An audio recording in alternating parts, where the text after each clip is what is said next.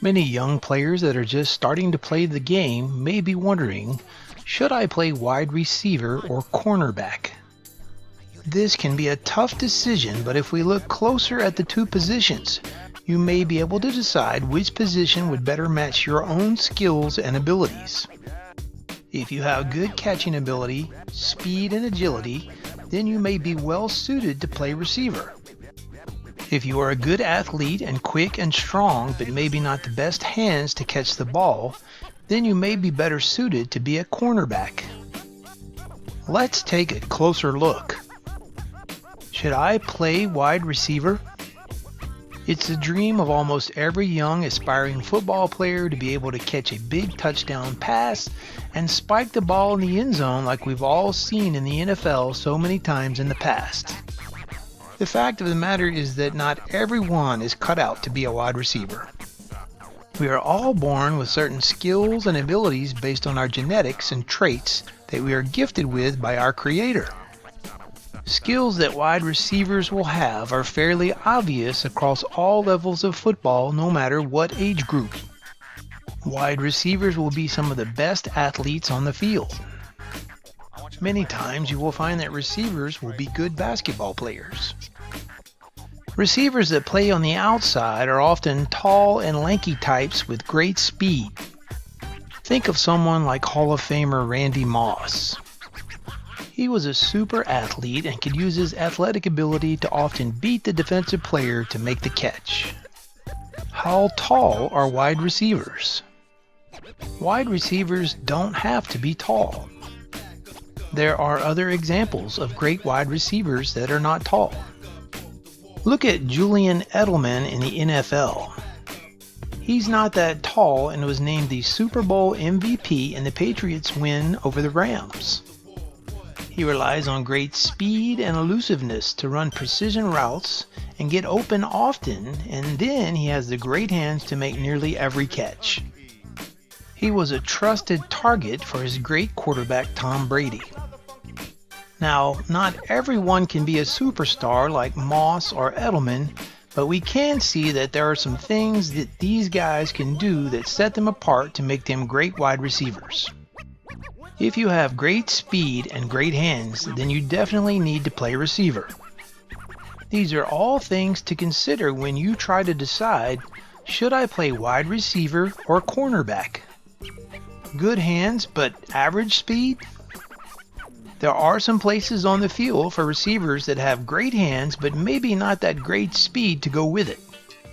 Receivers like this can be valuable to a team for sure. These type of receivers are sometimes referred to as possession receivers and are reliable to a team to pick up that needed short yardage in the 10 to 20 yards range to pick up a big first down. Clearly, you don't have to be a speed demon to be a receiver. You just need to realize your role and that it may be unlikely that your coach will be looking to throw you the deep ball because of your average speed.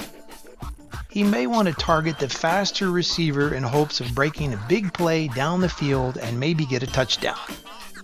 Great speed but average hands? Your coach may very well want to put you at receiver and hope that the repetitions they can get you in practice and over the summer workouts can get your hands to be more reliable. Many high school players have had this problem keeping them from being a good receiver. Too many drop passes can lessen both the coach and the quarterback's confidence in throwing the ball their way. Sure enough, with more repetitions and practice, questionable hands can be overcome by the time a high school player is a senior. You can teach someone to develop decent hands as a receiver. It's much harder to teach someone to be super fast and agile. If you are super fast, your coaches will notice this and they will be more than willing to play you as a receiver and let you learn the ropes there. The coaches will hope that over time you will develop the ability to catch the ball well enough to be an effective player for the team. Should I play cornerback? If you are wondering whether or not you can get the job done on offense or whether or not you can handle the pressure of being a receiver, there are other options. You could play cornerback, and it has become increasingly a more important part of today's game of football. So many teams like to pass the ball a lot, and that leads all teams to have a need for quality cornerback play. On an island. At cornerback? You are indeed on an island at times as a cornerback. There are many times when the entire stadium will have eyes upon you. You'll defend a receiver downfield trying to stop him from making that big catch. It can happen and will happen to all cornerbacks, so the best thing to do is not worry about it or dwell on it.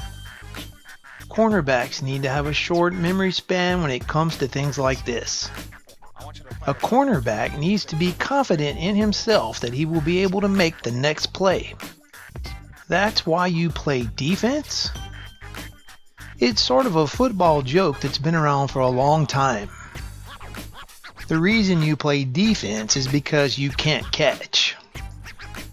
If you could catch, you'd be playing offense. How many times have you seen defensive backs drop passes that hit them right in the hands?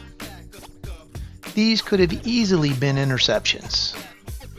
Questionable ball catching abilities cause the defensive back to let the interception hit them in the hands and drop to the ground. There's no rule in stone that says cornerbacks can't catch. In fact, if you can't catch the ball at all, then you are going to have a real problem getting any playing time. A good defensive backs coach is going to expect that his DBs are all capable to get an interception if the opportunity presents itself. You don't have to have great hands to play corner, but you need to be able to catch the ball fairly well or you hurt your chances for playing time. Cornerbacks are tough. Cornerbacks are going to have to be tough and hard-nosed good athletes that are willing to mix it up. Cornerbacks will need to defend athletic receivers and not be intimidated. Many times you will see taller receivers going against shorter cornerbacks fighting for the jump balls down the field. The fact is, you are just not going to see any 6 foot 5 inch cornerbacks. There are some cornerbacks now that are in the 6 foot 1 to 6 foot 2 inch range. Most are not going to be much taller than that. If they are, then there's not many of them.